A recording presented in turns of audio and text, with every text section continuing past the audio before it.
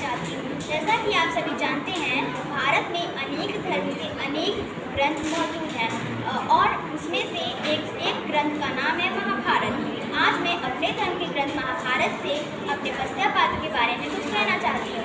मेरे पस्तर पात्र हैं भीष्म जो कि दिखने में कुछ ऐसे हैं।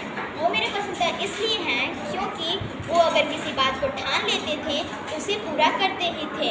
और उनके माता का नाम दुर्गा था और उनके पिता का नाम शांतनु था। वे अपने माता पिता के आठवें पुत्र थे और वे हमेशा श्वेत वस्त्र ही धारण करते थे।